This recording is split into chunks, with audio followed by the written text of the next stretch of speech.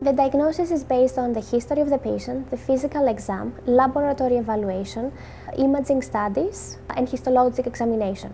So if uh, the patient is typical, we can make the diagnosis just looking at the patient. They have this typical rash on the physical exam that we are looking for at every visit.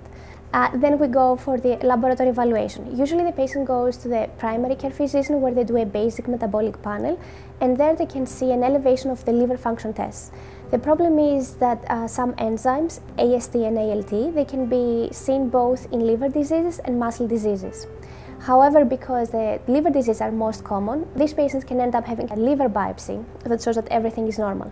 So then uh, the second step would be to check for a CPK, which is an enzyme of the muscle, and that's when we see that the CPK is high, which means that the muscle uh, cells are the ones that are getting destroyed, and they release these enzymes in the blood and we also check for muscle strength throughout all muscle groups. And actually the pattern of the muscle weakness can indicate what kind of muscle disease the patient has.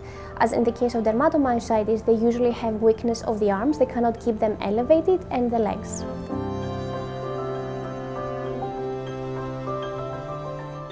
Then the next part would be to do some kind of imaging studies, like an MRI, where we look for inflammation of the muscle. When we do the MRI, they show some early inflammatory changes that can guide our uh, diagnostic process. But of course, the gold standard for diagnosis is uh, a biopsy, depending on where the symptoms are more prominent, like a skin biopsy or a muscle biopsy. And there we can see a characteristic inflammatory pattern.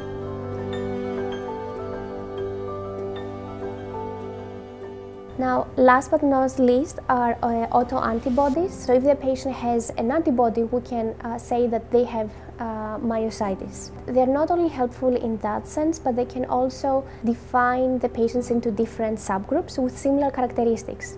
So we can predict what kind of symptoms these patients will develop if they're not already obvious. Like some antibodies are associated with lung disease or some others with higher risk of cancer. So in those patients, we will look very closely for lung disease or similarly uh, malignancy. But now we also have some information about treatment and we know specific autoantibodies might uh, respond better to a specific medication. So that's why these autoantibodies are very important.